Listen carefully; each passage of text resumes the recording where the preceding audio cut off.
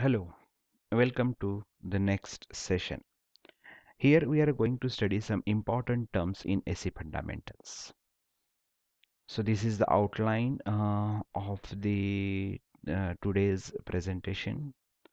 At the end of this session, learners are able to define average value, RMS value, peak factor and form factor, derive average value and RMS value of an alternating quantity in an alternating quantity the positive and negative half cycle is exactly same okay? So here we are going to study the average value and we know that in alternating quantity positive and negative half cycle is exactly same with opposite magnitude. Hence average value if we take over a full cycle the positive and negative value will get cancelled and the average value is zero to calculate the average value of alternating quantity, only half cycle is considered. Hence, to calculate the average value, we have to consider only half cycle. There are two methods to find out the average value. One is called as a graphical method and second one is called as analytical method. Graphical method is suitable uh, whose equation is not known, but analytical method is suitable whose uh, equation that is the, which the waveform which can be represented by using the equations. So let us see how we can calculate the average value using graphical method let this is the AC waveform which is sampled over the half cycle okay? That is i1 i2 i3 in value are taken on this waveform for the half cycle at equal interval. That is t1 t2 t3 likewise up to tn and the distance between each interval is same. That is at the regular interval the waveform is sampled okay? So let us have the i1 i2 up to in corresponding to the time time t1 t2 dash dash dash up to tm respectively as shown in the figure. So how will calculate the average? Average value i average is equal to i1 plus i2 plus i3 dash dash dash up to in that is the summation of all instantaneous values over sampled instantaneous values over the half cycle divided by number of values taken that is n. So i1 plus i2 plus i3 plus dash dash dash up to in divided by n is called as i average. Keep in mind i uh, average value is always indicated by capital letter with a suffix average. Here it is indicated as i average. Similarly i can calculate average values of voltage as v average is equal to v1 v2 v3 that is the sum of instantaneous values divided by number of values over the half cycle. So using graphical method we can determine the uh, average values. Now let us see how we can define the average values for and using analytical method. So i average is always equal to the area under the curve over the half cycle. Okay. So if i take this area under the curve over the half cycle divided by length of base over the half cycle that is length of the base is from 0 to pi that is the length is pi. Okay. So area under curve how we'll calculate the area under curve? We have to calculate the area under curve we have to take the integration of this curve. Okay. So integration of this curve means 0 to pi i d omega t because x-axis because if we see the x-axis with respect to omega t hence integration from 0 to pi i d omega t. So in this case the AC, the waveform the AC waveform is a sinusoidal. That is equation is what i max sine theta. So i average is equal to if i take this 1 upon pi on this side 1 upon pi 0 to pi i d omega t. But for a sinusoidal mm, current equation is given by i is equal to im sine theta or i max sine theta. Okay. So in uh, this this is in sinusoidal waves in square wave it can be given as it is equal to uh, imu of t okay? And in in case of uh, you can say uh, in, uh, in, case of uh, triangular wave the waveform uh, the, the equation may be different. So i average is equal to 1 upon pi im sine omega t. Im is the constant value. So we'll take this im at outside to the integration. It is im by pi. Integration of sine omega t is the minus cos omega t and limit is from 0 to pi. Putting the upper limit minus cos cos pi minus of minus cos 0 that is upper limit minus lower limit. Minus of cos pi is equal to 1 and minus of minus cos 0 is also equal to 1 so 1 plus 1 will become 2 so it becomes 2 im by pi. So 2 by pi is equal to 0.637 im so average value is equal to 0.637 times of the maximum value in case of sinusoidal wave. Okay so keep in mind the word sinusoidal wave. I average is equal to 0.637 times of the maximum value now let us see what is the RMS value. The magnitude of alternating uh, current varies instant to instant, whereas the magnitude of direct current remains constant with respect to time.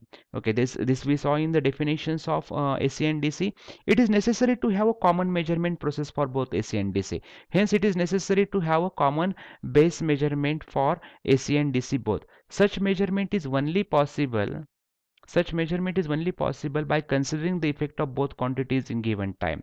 So uh, such measurement is only possible when both are producing the same effect. One of such of effect is what heating in the resistance. Okay, when current is passing through the resistance, it always generates the heat. So we can say effect is heating in the resistance. So the effective value or RMS value of the alternating current is defined by defined by it is uh, given by the direct current sorry it, it should be it is okay. It is given by the direct current which when flowing through a given circuit for a given time produces the same amount of heat that is produced by the alternating current when flowing through the same circuit by the same time.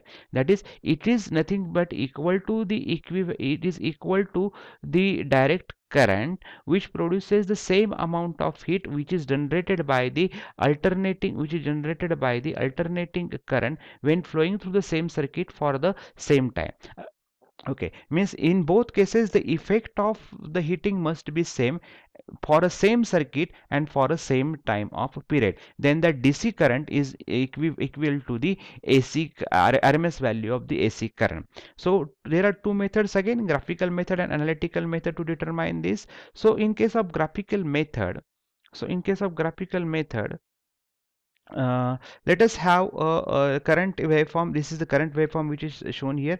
And we are taking the samples over the half cycle. Okay so the samples are taken over the half cycle. Uh, so uh, when it gives the values i1 i2 in corresponds to time t1 t2 tn uh, respectively as shown in figure. Let the current is passing through the resistance r ohm for the duration of time t.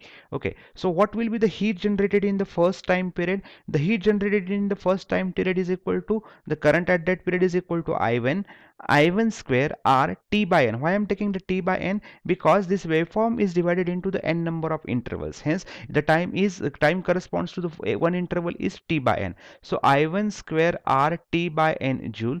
h2 is equal to i2 square r t by n joule. Similarly, similarly, heat produced in the nth interval is hn heat produced in the nth interval is Hn In square R T by N joule. So how will calculate the total heat produced? Total heat produced is equal to sum of the heat produced in each interval. That is I1 square R T by N plus I2 square r uh, t by n plus i3 square r t by n likewise up to in square r t by n. So if r by t is taken as a common what will remain? I1 square plus i2 square plus i3 square plus in square divided by n. What it what it looks like? It looks like sum of average of square values. Sum of uh, it is nothing but average value average of square values.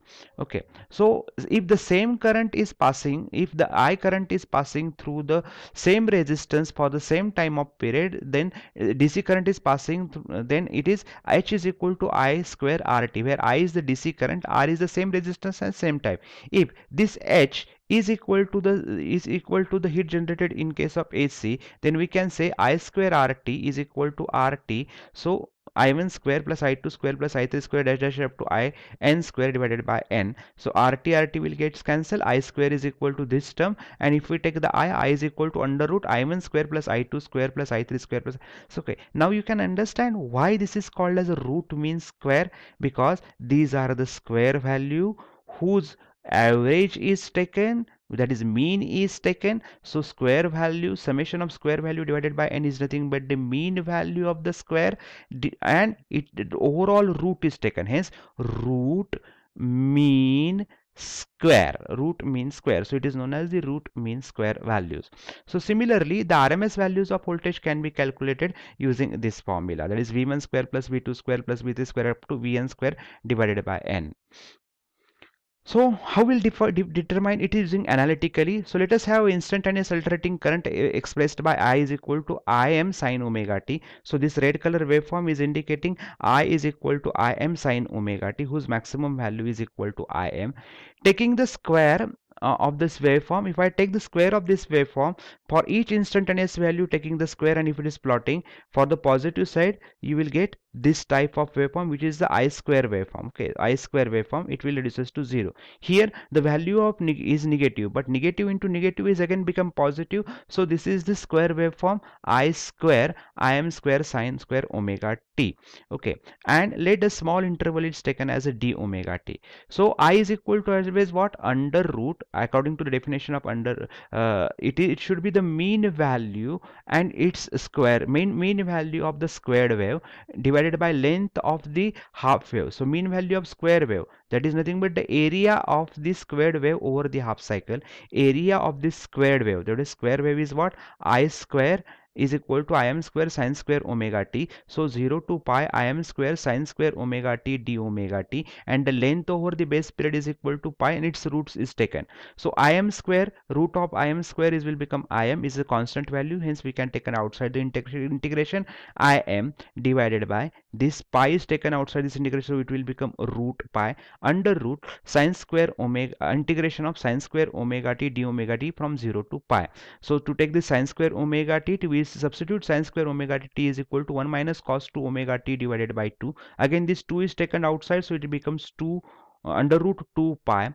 So if we take the integration of 1 minus cos 2 omega t with respect to 2 omega t it will become omega t minus cos in, integration of cos is 1 uh, integration of 1 is omega t integration of cos is sine 2 omega t divided by 2 so and if i substitute the limits so pi minus sine pi so it will sine pi will become 0 then 0 minus sine 0 again this term will become 0 so hence what is remaining in the bracket? Only root pi will remain in the bracket. So root pi from the numerator and root pi from the denominator will get cancelled. So i is equal to im divided by root 2 that is 0.707 times of the maximum value. What it indicate? The rms value. Keep in mind the rms value is always indicated by the capital letter. I is equal to im under root Im under root 0.707 times of the maximum value or you can say uh, Im is equal to root 2 times of the RMS value.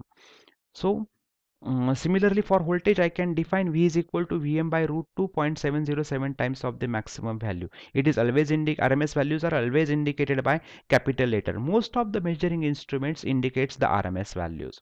So next we will define what is a peak factor peak factor, crest factor or amplitude factor.